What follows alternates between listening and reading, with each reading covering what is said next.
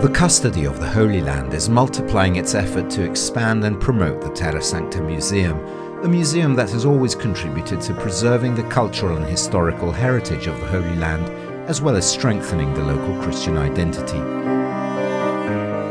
The second section of the Terra Sancta Museum we are planning to open will be divided in two sections, two different kinds of the Christian presence in the Holy Land.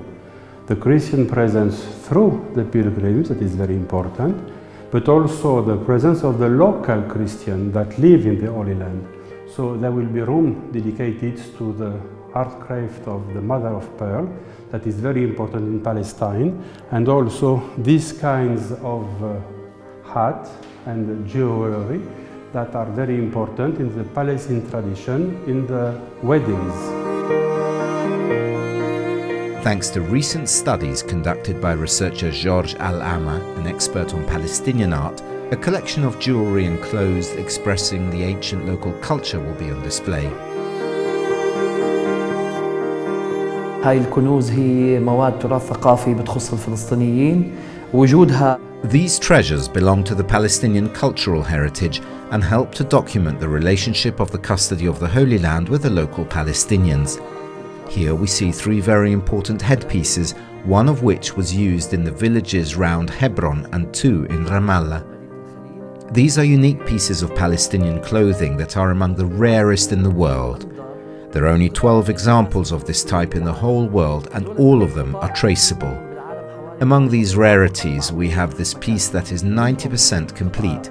It is a headpiece dating back to Ottoman times that we call Wukiyat Adarahim, made of 3,000 to 4,000 pieces of silver. In the past, it was given to the bride on her wedding night by the sheikh, head of the village. Every village had one. تكون موجودة منها قطعة واحدة عند كل شيخ قرية بتم إعارتها للعروس فقط لاستخدامها يوم العرس During Ottoman rule, coins were often used in the creation of jewelry and were sewn into headdresses. عندنا هون مجموعة ضخمة ونادرة أيضا من الحلي الفلسطينية المصنوعة من الفضة الخالصة عندنا البغمة عندنا We also have a large and rare collection of Palestinian jewelry made of pure silver. There is Al Bagma, which the Palestinian woman wore around her neck, and Al Zinak, which was worn on the chin and connected with pieces to the head through the shatwa of the city of Bethlehem. We also have other pieces such as the hoop that was placed over the shatwa and some jewelry such as earrings and other items. As an expert in this field, what attracted my attention the most was the wonderful, meticulous and scientific work done by the sisters. These rare pieces of art were in fact restored by the Sisters Adorers of the Blessed Sacrament, a congregation present at the Milk Grotto near the Church of the Nativity. The Terra Sancta Museum highlights the deep bond between the local faithful and pilgrims from all over the world.